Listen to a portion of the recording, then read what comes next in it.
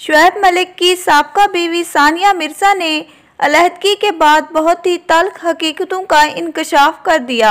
बाप की शफकत और सरपरस्ती ना होने की वजह से बच्चों की परवरिश करना बहुत ज़्यादा मुश्किल होता है।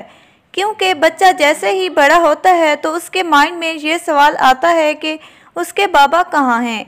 अब स्कूल में भी अजहान को मुश्किल का सामना करना पड़ रहा है। छोटे बच्चे भी अजहान को तंग करते हैं कि तुम्हारे अम्मी अबू की अलहदगी हो गई है। तुम्हारे बाबा तुमसे मिलने कभी नहीं आएँगे। अब पेरेंट्स टीचर मीटिंग पर भी तुम्हारे बाबा नहीं आएँगे। ये सारे सवाल स्कूल से वापसी पर अजहान मुझसे करता है।